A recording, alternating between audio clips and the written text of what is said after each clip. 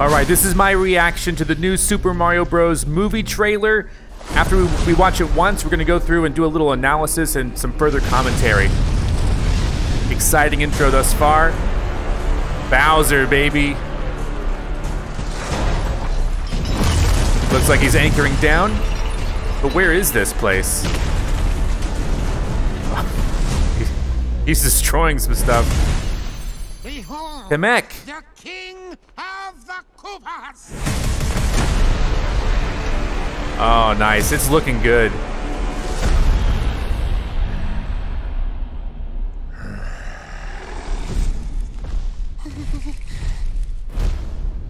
Open the gates! That's a good voice, Jack Black. The penguins?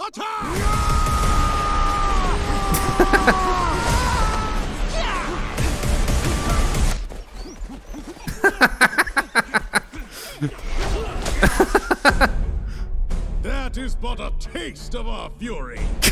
do you yield?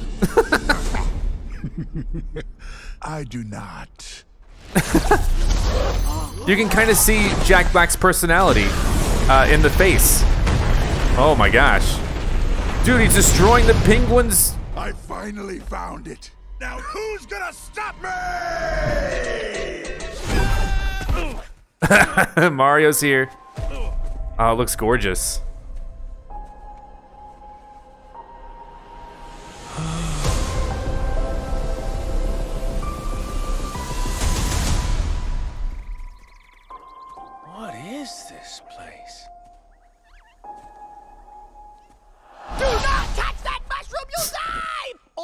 Sorry.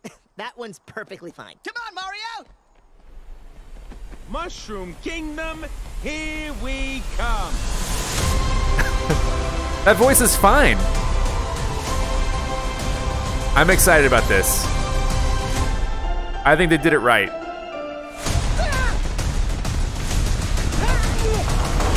Oh, Luigi what's. wait.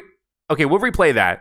Where was Luigi going? Okay, so we're gonna play it again and then kind of go through and do a little bit of analysis. Like I'm, I'm not an expert on all things Mario. I love the games, of course. I played several of them, so I'm not gonna know like every single little Easter egg or reference. But what I want to do is go through and just comment on some of the stuff that I've noticed in more detail. We can pause the video. We can take some time. I, I want to say first off, I'm excited about this movie because I love to see N- Nintendo succeed. You know, I've been a huge fan of Nintendo ever since I was a kid, and of course, what they have now is they have they have a thriving video game business with the Switch and all the games that they have. They have a lot of big name properties, you know, Mario, Zelda, Donkey Kong, Splatoon, all that stuff that now could be developed into movies, especially since they've made their own movie studio. Uh, and so uh, this is in partnership with Illumination. I don't know what their future plans are, but you know, you know, Marvel has its own studio now essentially, and Nintendo could very well do that in the future. Nintendo's opening theme parks within Universal Studios, and um, like and I'm just excited about what the future holds for them. And so, um, if this movie is a success, it means great things for Nintendo. More future projects. It means maybe even bigger and better games. Who knows what they're going to do to expand their empire? Okay, so first off, this I, guess these are the penguins from you know everyone knows the penguins from Mario, especially Mario 64. You can throw them off a cliff and stuff. So they're introducing the penguins as having their own town of sorts, and Bowser has his own not just airship, but his whole like freaking island that he's bringing around. That's pretty interesting in and on itself. And of course, you know, I thought when Bowser speaks, Jack Black Jack Black did a great voice. Behold, the king The Koopas the look great. I think the Koopas look great here. Uh, you know, they. I'll pause it here. One thing that they have, that Nintendo has, is that they already have excellent designs, especially in the latest games. You know, they have fully fleshed out designs. I don't know if they just weren't movie quality um, or or what, but I think they're pretty good. And so obviously they had to do some sort of redesign, and these redesigns stay pretty true uh, to what we're used to seeing. There are subtle differences. You know, Mario looks a little bit different. Uh, Bowser looks a little bit different, and I think it's mostly in the facial features and stuff. Open the gates! I can see Jack Black's personality and Jack Black's face a little bit within Bowser. I don't know if that was, I mean, it's probably intentional. So here are the penguins here, and uh, you can tell this movie's going to be funny because of the scene. You know, this is, I think this scene is pretty funny. Bowser, to me that that profile, like if we take a look, if we go back really quick, that profile image right there of Bowser reminds me of like a face that Jack Black might make. So again, I feel like they probably brought in a little bit of the personality. I'm not sure. That is but a taste of our fury. Do you yield? I do not. And that sounds like Jack Black right there. And there was a scene floating around of him doing the voice at one of the conventions. And he just like totally decimates the penguin's habitat there.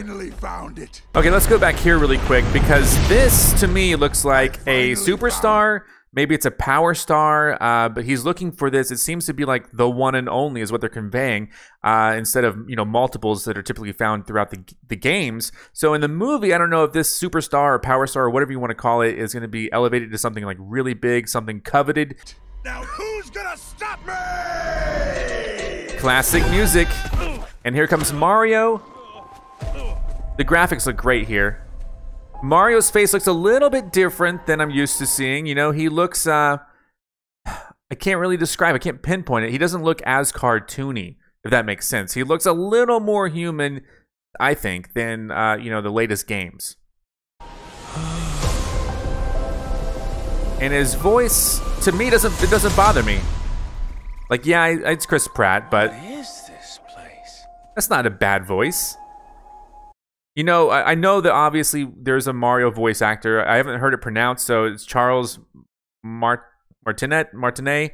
Don't know how it's pronounced, but he's still involved in the movie in some fashion. I don't know if he's going to be thrown in like like, like a little like yoo-hoos or, or whatever there is. But obviously, you know, if they want Mario to have more of a voice, more of a speaking role, you know, personally, I liked it in the games where he doesn't speak much. He just kind of says, "Oh," you know. But if they want Mario to be like a main character who speaks and talks and stuff like that, uh, then it makes sense for him to have maybe a more standard voice. You know, nothing that's like just constantly making like chirps and like woohoo, you know, like all the time. Uh, obviously, Mario had a more normal voice in the old cartoon in the live action Mario movie. Uh, so to me, I think that this Chris Pratt voice is fine. Yes, it sounds like Chris Pratt, but we'll see. We'll see how it ends up. We'll, we'll get more footage eventually. Do not touch that mushroom, you'll die! Oh, I'm sorry. that one's perfectly fine. Now that is Keegan Michael Key uh, from, of course, Key and Peele. And uh, to me, like I don't know that I'd be able to recognize his voice without knowing that it was him. So obviously he's doing a voice. I'm not so sure that Chris Pratt is doing much of a voice different from his own. Mario! Mushroom Kingdom, here we come. So I don't know that that voice is like anything, uh, any major departure from his voice. I want to hear more of that voice just to see if he does like any sort of inflection on it. It almost sounds like Mushroom Kingdom, here we come. You know, like I don't know, I don't know. I can't do it. I'm not a voice actor. But look at the look at the visual beauty here. Tons of toadstools or mushrooms or whatever you want to call them throughout Mushroom Kingdom, and of course Princess Peach's castle in the background. So many questions. How does Bowser, you know, meet Mario? And how does Bowser play into this? We also know that Donkey Kong is in this movie, played by Seth Rogen. And so, you know, we'll see more of this as more information comes out. For now, this is what we got. I'm glad. I'm excited. I don't find anything horrible about this. Uh, you know, I'm I think it's gonna be great. Yeah. The Super Mario Bros. movie. Good title. Nintendo and Illumination together. And here is the cast. And this is so cool. This looks like some Luigi's Mansion stuff. But I don't think that's a mansion. Let's actually backtrack because we can do that. Uh, this looks just like a castle, like maybe one of the. Uh, I don't know if it's. I don't know if that will be Bowser's castle, but it's some some sort of castle. It doesn't look like a haunted mansion at all. Uh, so yeah, but still, I think it looks pretty good. Let's go. Let's go. Yeah, he's just trying to get in the castle, but that image evokes, you know, him trying to close the door, get through the door, whatever. That evokes to me Luigi's Mansion, which I'm a huge fan of.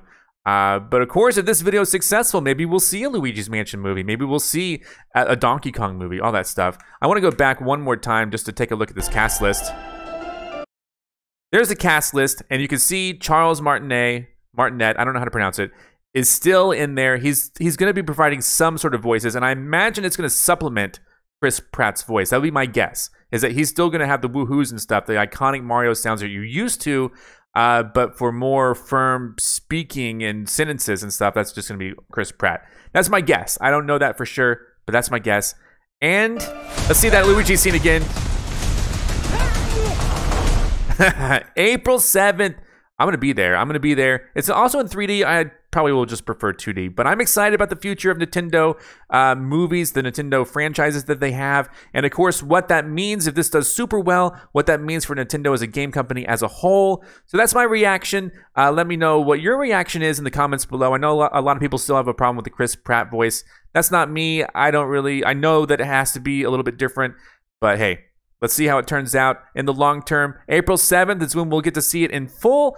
Like I said, I'll be there. Thank you for watching my reaction, and I'll see you next time for more. Be sure to subscribe if you want to see more content like this.